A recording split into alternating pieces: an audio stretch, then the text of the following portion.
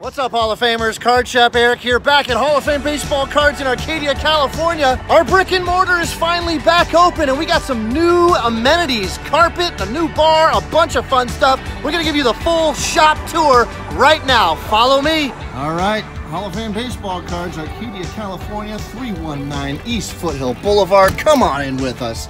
The first thing you're gonna notice is Yama, the Yama 3000. What's up, Yama? How you doing, buddy? All right, man. How are you? Welcome Doing well. Well, welcome to the new shop. What We've been working think? hard, haven't we? So hard. I hope you guys enjoy it. For the some of the people that come to visit our shop regularly, you might notice the biggest change, brand new carpet. Look at that, brand new carpet. We finally put in new carpet after over 30 years of rocking the same carpet. So our shop is not the biggest, but as you can see, it's wall-to-wall cards right here, folks. Wall-to-wall, and the whole front of the shop is baseball cards. You got a whole wall of vintage cards over here, and then when you turn around to your right as you come in the door, all the current products are over here, and we got singles down here. We got a nice place to uh, sit down here at the front. If you move on here, we got some football and basketball cards right here, and then one of the biggest things that we did we used to have all of our basketball cards here in a case kind of like one of these, but we got rid of the case, we got rid of the shelves, and look what's in its place. A flat screen TV and a brand new bar that who built? You and I. That's right! That's right. And CJ helped too. CJ. CJ. Yeah, thanks CJ. And so we uh, hand built this little bar for people to sit at while they're uh, ripping cards. Um, here's our counter over here with our cash register. We got some autographed memorabilia. Uh, we got a little vintage uh, singles lots up here for anyone looking for vintage. We got all your accessory needs right here. Uh, the whole back of the shop uh, we turned into a little wraparound sit-down bar area as well. So we got a lot more room in here for everybody who comes to visit. Um, there's a lot more room. You guys might think it's small, but I'm telling you, it's a huge improvement from where it was. Maybe I'll try to sneak in some old photos. Uh, but let's go back here. This used to be our office. Uh, here's back, by the way, a 1981 Donruss uncut sheet. Who's got best mustache on here? Can you find one with a best mustache? I was looking at some of them earlier. Like, how about Scott Thompson right there? He's got a pretty good stash. Anyways, this used to be our office, and our break room used to be right here. Literally, right on this wall was our media cabinet where we were doing our live breaks.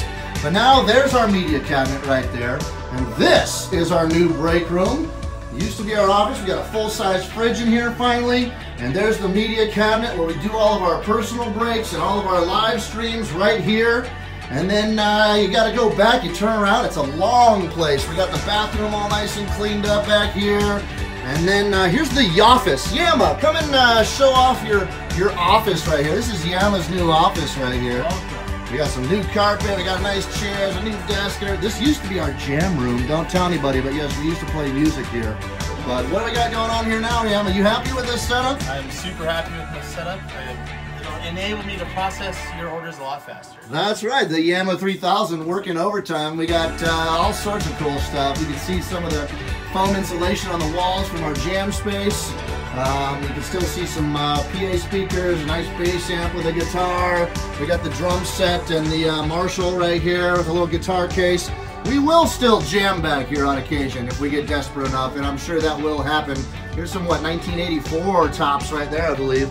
And uh, this is all behind the private glass. I forgot to show off the private glass. And then we got some storage space back here, which you guys don't really need to see all that. That's just that's just product that nobody can afford right now, isn't it? It is. Well, that's it.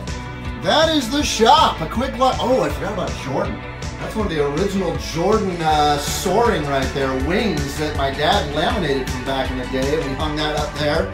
But that's basically the shop. That's all we got. We've been here for 30 years. We've been in business for 40 years.